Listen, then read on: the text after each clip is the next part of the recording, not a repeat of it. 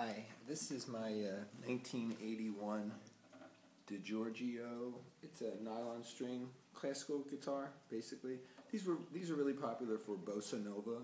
They're made in Brazil, um, and uh, they're the last of the relatively inexpensive Brazilian rosewood guitars. Because I mean, if you look at the wood on this, it's just gorgeous. Almost looks like koa, uh, and uh, because they avoided the restrictions for quite a while because they are, of course, made in Brazil. Uh, do a little fake